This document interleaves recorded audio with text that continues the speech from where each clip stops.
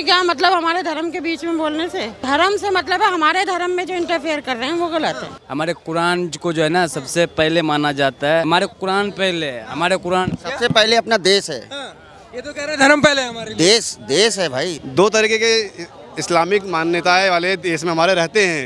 एक ओवैसी को अपना आदर्श मानते हैं और एक एपीजे अब्दुल कलाम को अपना आदर्श मानते हैं। बिल्कुल। क्या नाम हो गया मैम आपका? रुमाना खातून।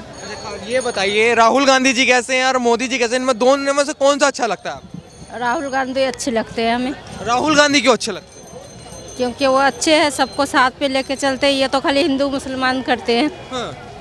कौन हिंदू मुसलमान कर रहा है? मतलब मोदी जी? मोदी जी। अच्छा, मोदी जी ने कहा हिंदू मुसलमान किया? हर जगह किया है। वही तो काम ही है उनका।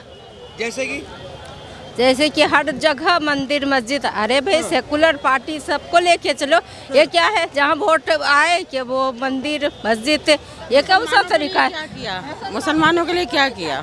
तो मोदी जी ने मुसलमानों के लिए कुछ नहीं। किया। अच्छा ऐसा हिंदुओं के लिए क्या कर दिया स्पेशल मोदी जी ने?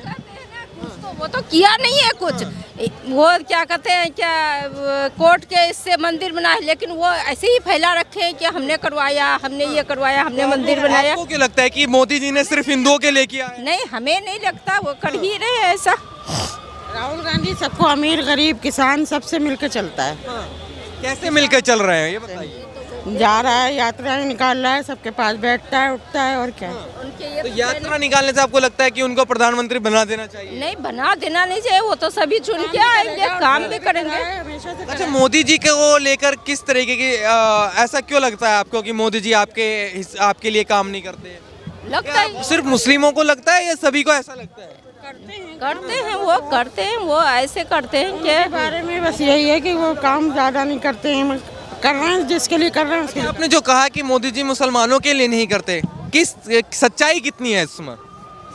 आज तक कर ही नहीं है कुछ। कैसे सच्चाई है? वो तो कह रहे हमने मकान दिया सबको दिया। ऐसे ही बातें करते रहते करते कुछ नहीं है। कुछ नहीं मिला कुछ नहीं मिला। जो उसने दिखाया जिसके ऊपर करवाया महँगाई बताइए। महँगाई में मुसलमानों का कहा? महिला महिलाओं के लिए है। आदमी जो हाई फाई है जो नीचे वाले हैं बीच वाले हैं उसके लिए उन्होंने क्या करा? लेकिन आपने कहा ना कि मोदी जी मुसलमानों के लिए कुछ नहीं करते। कुछ नहीं है चाहे वो हिंदू हो या मुसलमान हो। महिलाओं के लिए कुछ नहीं कोई रोज़गार नहीं कुछ नहीं। महिला तो कहती है हम जितने सुरक्षित हम इस सरकार। कैसा सिलेंडर सुरक्षित है महिला? महिला तो सुरक्षित है ही नहीं। इतनी महिलाओं से हम बात करते हैं लगातार वो तो कहते हैं कि हमें तो सुरक्षा मिल रही अच्छा तीन तलाक की अगर मैं बात करूँ तो सही किया था मोदी जी ने गलत किया था? उन्हें क्या मतलब किसी से? उन्हें क्या मतलब हमारे धर्म के बीच में बोलने से? अच्छा अ, महिलाओं को आज़ादी अगर दी जा रही है तो उसमें भी दिक्कत है? नहीं कोई आज़ादी नहीं है वो हमारा धर्म है हम जाने। किसी को बीच में इंटरफेयर करने की ज़रूरत नहीं है। अच्छा तीन तलाक पे किसी को इंटरफेयर करने की ज़रूरत जो- हमारे कुरान में लिखा है ना जो हमारे कुरान में लिखा है वो सही है। तो क्या महिलाओं उनको नहीं पता। महिलाओं के साथ जो हो रहा था वो सही हो रहा था मतलब। वो अपने हिसाब से हो रहा है उनके घरेलू मामला है देश कुरान से चलेगा या संविधान से से मतलब नहीं है धर्म से मतलब है हमारे। से चला रहे वो जो चलेगा देश से मतलब नहीं है। नहीं धर्म से मतलब है हमारे धर्म में जो इंटरफेयर कर रहे हैं वो गलत है। आपके लिए धर्म पहले है देश पहले? नहीं ऐसा कुछ नहीं। पहले इनको डिस्टर्ब मत करो जाने आप जाओ। धर्म पहले जाने के टाइम में। देश भी है धर्म भी मानने पड़ता है। धर्म पहले है हमारे कुरान को जो है ना सबसे पहले माना जाता है। देश तो है ही है उस देश में तो रहना है बस। लेकिन उन्हीं उन को कहा कि धर्म पहले है देश पहले है। हमारे कुरान पहले है हमारे कुरान सबसे पहले अपना देश है। हाँ, ये तो कह रहे हैं धर्म पहले है हमारे देश देश है भाई सबसे पहले देश है। देश ये कह रहे हैं कुरान पहले है। सबसे पहले देश है। है वो भी पहले है। देश पहले है। धर्म तो धर्म है। मानने पड़ेगा धर्म को। क्या रामायण हिंदू देश और धर्म जैसे आप लोगों का कौन सा है? रामायण गीता क्या है? उसको हम भी इज़्ज़त से नाम लेते हैं। जैसे हमारे बड़ा किताब है, कुरान है, वैसे उसमें तुम्हारे भी एक किताब है ना तो उसको और देश में क्यों जोड़ रहे हैं? वो तो हमारे कहा ना कि हमारे लिए धर्म पहले है। भैया इधर आइए एक मिनट। आ इधर आ जाइए जरा। अच्छा ये बताइए ये कह रहे हैं कि हमारे लिए कुरान पहले है। जैसे तुम्हारे भाई सबसे पहले देश है। नाम है आपका? वसीम अहमद। वसीम अहमद? जी। अच्छा वसीम अहमद जी ये भाई साहब कह रहे हैं मेरे लिए कुरान पहले है, देश पहले कुछ नहीं है। देश से बढ़ के कुछ कुछ नहीं है। वसीम अहमद को देश से बढ़ के कुछ नज़र नहीं आता। सबसे पहले अपना देश है। देश पहले जी। भाई साहब ये क्यों कह रहे हैं कि मेरे लिए धर्म पहले? ये है सच्चे मुसलमान। ये हैं सच्चे मुसलमान। ये भाई साहब जो कह रहे हैं। अरे फर्जी है उन्होंने उन्होंने कुरान सही सही से पढ़ा भी नहीं होगा। हाँ। ये एक आदि हैं जो। शायद ओवैसी साहब को फॉलो करते हैं। और ये हैं सच्चे राष्ट्र मैं कहूँगा राष्ट्रपति जो थे हमारे ए पी अब्दुल कलाम ये उनके फॉलोवर हैं। और ये ओवैसी साहब के फॉलोवर हैं। हाँ। ये के फॉलोवर हैं। ये है एपीजे अब्दुल कलाम के फॉलोवर जो धर्म को सरपरी ना मान के देश को सरपरी मान रहे हैं। और ये देश को सर्वोपरि ना मान के धर्म को मान रहे हैं। बस दो तरीके के इस्लामिक मान्यताएँ वाले देश में हमारे रहते हैं। एक ओवैसी को अपना आदर्श मानते हैं और एक ए एपीजे अब्दुल कलाम को अपना आदर्श मानते हैं। बिल्कुल। और देश ही सर्वोपरि होना चाहिए।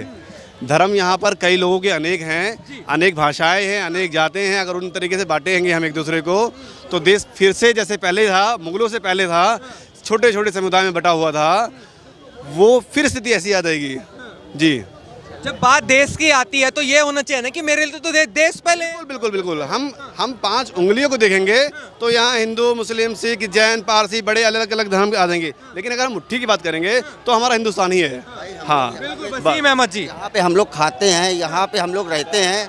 सबसे पहले ये हमारा वतन है, है? दिल से हम लोग मानते हैं इसको। ये हमारा वतन है। ये वतन है। वसीम अहमद जी आप कहते हैं लेकिन कुछ लोग आपके साथ के कहते हैं कि मेरे लिए कुरान अपनी अपनी सबकी सोच है। शायद इनके लिए फतवे जारी हो जाएँ। बिल्कुल बिल्कुल।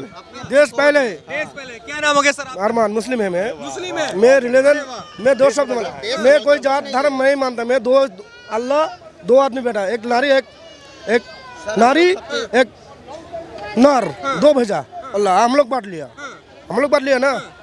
तो पहले पहले देश जिस देश में वो रहता रहता वो देश में प्यार करना सीखो बाद में कुरान पढ़ कुरान पकड़ने के लिए नहीं कुरान समझने के लिए कुरान है। हाँ। कुरान समझने के लिए कुरान ने पकड़ ऐसे पकड़ के नहीं रखने के लिए बोले बोला हम लोग का रसूल है ना वो पकड़ने के लिए नहीं वो समझने के लिए सब सबको हिंदू मुस्लिम सिख को सबको समझने के लिए भेजा वो।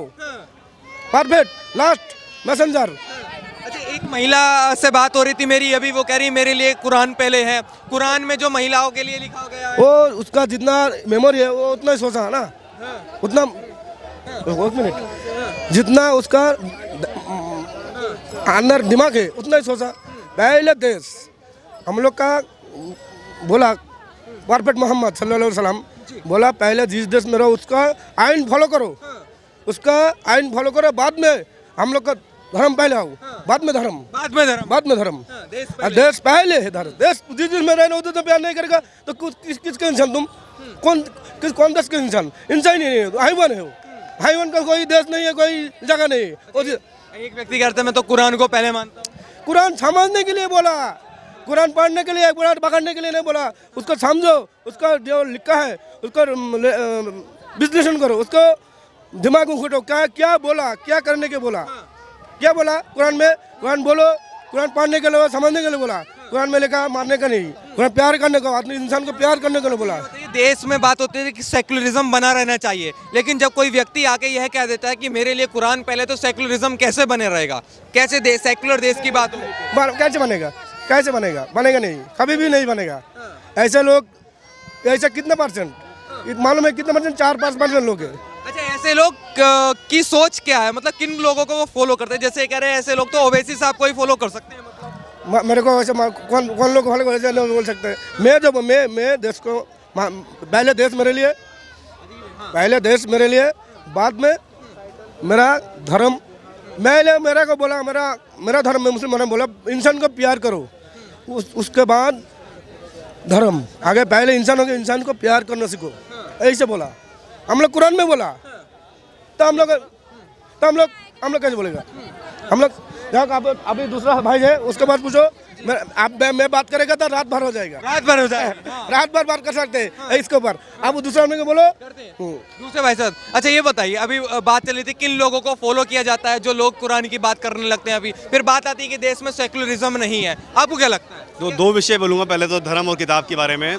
कुछ लोगों ने धर्म को पहले भी महत्वपूर्ण जो है माना था, देश को नहीं माना था, जिसकी वजह से इंडिया और पाकिस्तान में बंटवारा हुआ था। उन्हीं लोगों ने बोला था कि हम जो है धर्म के आधार पे अपना अलग से देश मांगते हैं।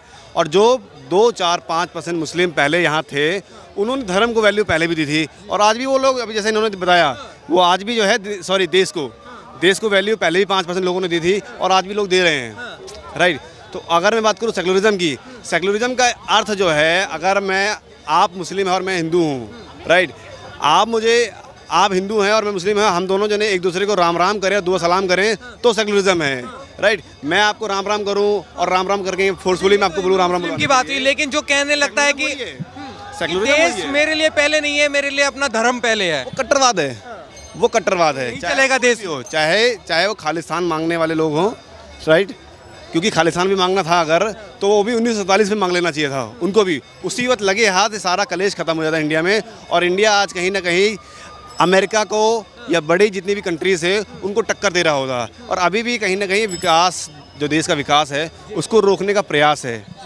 अभी भी लोगों को जात और धर्म में उलझा के रखना, कहीं ना कहीं उनको देश के प्रति योगदान देने से रोका जा रहा है। उनको आगे बढ़ने से रोका जा रहा है कि भैया आप आगे मत बढ़ो, आप अपने जात और धर्म में ही उलझे रहो।